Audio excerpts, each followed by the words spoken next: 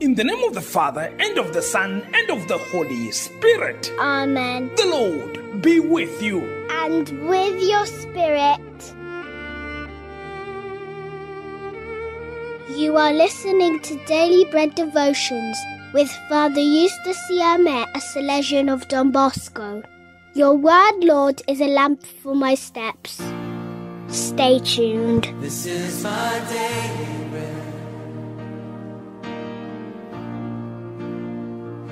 This is my daily bread.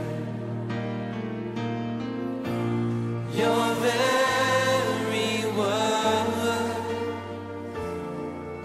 spoken to me. It is Wednesday, the 29th of November 2023, 34th week in ordinary time, the last week in ordinary time. And participating in the proclamation of the Word of God for today are the following Daily Bread members Damaris Chungu Mapani celebrating her 47th birthday today from Chililabombwe, Zambia. takes for us the first reading. Paul Jr. and Anino Anave from Kaduna, Nigeria, celebrating their 20th wedding anniversary today. Take for us the responsorial psalm and proclaiming the gospel is Father Ben Chola Chama, a Comboni missionary who celebrated his birthday yesterday working in Kampala, Uganda. Let us pray.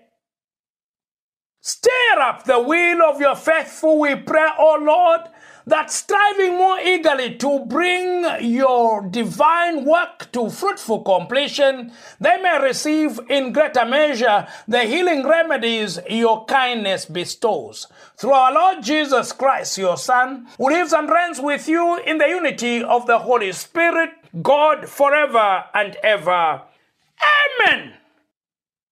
First reading The fingers of a man's hand appeared and wrote on the wall. A reading from the book of the prophet Daniel. Daniel chapter 5, verse 1 to 6, 13 to 14, 16 to 17, and 23 to 28.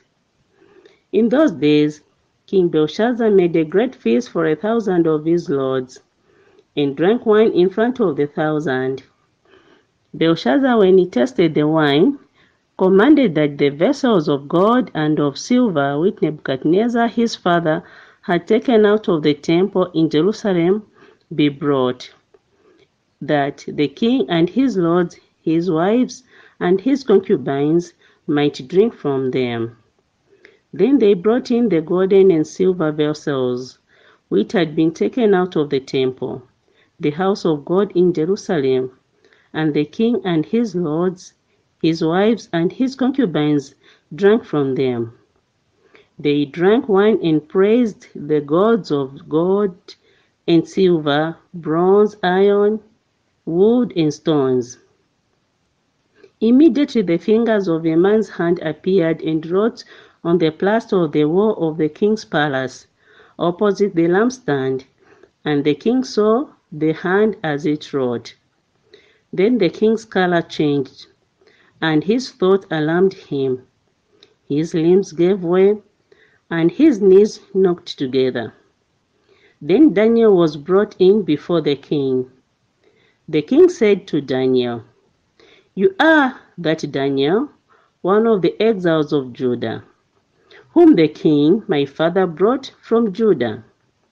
I have heard of you that the Spirit of the Holy Ghost is in you and that light and understanding and excellent wisdom are found in you. I have heard that you can give interpretations and solve problems. Now, if you can read the writings and make known to me its interpretations, you shall be clothed with purple and have a chain of gold about your neck, and shall be the third ruler in the kingdom. Then Daniel answered before the king, Let your gift be for yourself, and give your reward to another. Nevertheless, I will read the writing to the king and make known to him the interpretation. You have lifted up yourself against the Lord of heaven, and the vessels of his house have been brought in before you. And you and your lords, your wives, and your concubines have drank wine from them, and you have praised the gods of silver and gold, of bronze, iron, wood, and stones, which do not see or hear or know, but the God in whose hand is your breath, and whose are all yours, you have not honored. Then from the presence the hand was sent, and this is the writing that was inscribed many, many, Mene, tekel, and Parsin. This is the interpretation of the matter. Mene, God has numbered the days of your kingdom and brought it to an end. Tekel, you have weighed in the balances and found wanting. Peres, your kingdom is divided and given to the Medes and Persians. The word of the Lord. Thanks be to God. Responsorial Psalm The responsorial psalm is taken from Daniel chapter 3, verse 40, 41, 42, 43, 44, and 45. The response is taken from Daniel chapter 3, verse 40b, and the response is Sing praise to him and highly exalt him forever. Sing praise to him and highly exalt him forever. Sing praise to him highly exalt, highly exalt him forever. Sing praise to him and highly exalt, highly exalt him forever. Bless the Lord, sun and moon. Sing praise to him and highly exalt him forever. Sing praise to him and highly exalt, highly exalt him forever. Bless the Lord, stars of heaven. Sing praise to him and highly exalt him forever. Sing praise to him and highly exalt, highly exalt him forever. Bless the Lord, all rain and dew. Sing praise to him and highly exalt him forever. Sing praise to him and highly exalt, highly exalt him forever. Bless the Lord, all winds. Sing praise to him and highly exalt him forever. Sing praise to him and highly exalt, highly exalt him forever. Bless the Lord, fire and heat. Sing praise to him and highly exalt him forever. Sing praise to him and highly exalt, highly exalt him forever. Bless the Lord, mm-hmm. winter cold and summer heat. Sing praise to him and highly exalt him forever. Sing praise to him and highly exalt, highly exalt him forever. Sing praise to him and highly exalt, highly exalt him forever. The Gospel Acclamation, Revelations chapter 2, verse 10c. Hallelujah, Hallelujah, Hallelujah.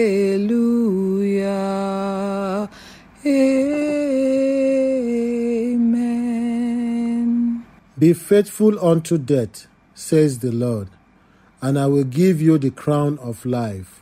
Hallelujah. Hallelujah. Hallelujah. Hallelujah. Amen.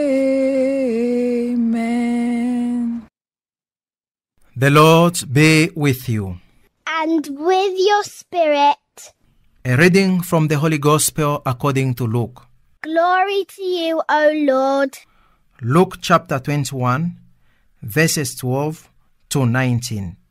At that time, Jesus said to his disciples, They will lay their hands on you and persecute you, delivering you up to the synagogues and prisons, and you'll be brought before kings and governors for my name's sake.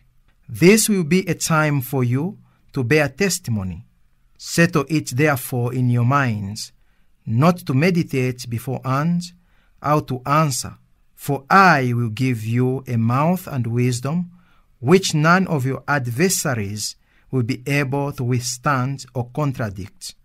You'll be delivered up even by parents and brothers and kinsmen and friends, and some of you they will put to death. You'll be hated by all for my name's sake but not a hair of your head will perish. By your endurance, you gain your lives. The Gospel of the Lord. Praise to you, Lord Jesus Christ. After Jesus finishes talking about the temple and how it was going to be destroyed, he now turns to the disciples and tells them the atrocities that will follow after the destruction of the temple. Not just after the destruction of the temple, but even before that they were going to be persecuted. A lot of terrible things happened to Christians here in Rome. And if you go around trying to listen to the guides telling you how Christians were used even as torches for barbecue at night, they were being burnt alive to provide light for Rome. And that brought a lot of fear in the lives of believers. And Jesus knew all these things were going to happen. And so he started now encouraging the believers and telling them, you know what? God is aware of anything and everything that you go through. Please don't give up on your faith. Remain steadfast, be enduring, because by your endurance you will gain your lives. When you don't give up on something because it is tough, you are going to have more life given to you by God. I know you are about to give up. There are a lot of things that are making you want to give up on your own life. Don't give up. God is saying something big is coming in your life. Maybe I should speak tenderly. Maybe I should whisper into your ears to let you understand that what you are going through is only for a while. God wants to call you a hero in. God wants to call you a hero. Please endure. Something big is coming your way. He's telling us not a hair of your head will perish because God cares for you. He will hear you. He will listen to you. Just remain steadfast. Trust in Him and understand that He has power to deliver you from whatever you are going through. James chapter 5, verse 13 says, Is anyone among you suffering? Let him pray. Mind you, whatever you are going through is out to make you strong. Whatever you are experiencing, as long as it doesn't kill you, it will strengthen you and it will make your relationship with your God even stronger. So keep enduring, remain steadfast. God is going to take you out of your situation. Remember what Psalm 107, verse 6 says? Then they cried to the Lord in their trouble, and He delivered them from their distress. He will deliver you from your distress. I just do not want you to look like a coward. You are not a coward. You are a soldier. And I know you can face all that you are going through with fortitude. Glory be to the Father, and to the Son, and to the Holy Spirit. As it was in the beginning, is now, and ever shall be, world without end. Amen. The Lord be with you. And with your spirit. And may Almighty God bless you, the Father, and the Son, and the Holy Spirit. Amen. Blessed Wednesday to you. Thanks be to God. This is my daily bread.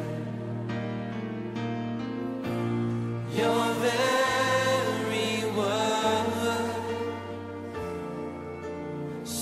spoken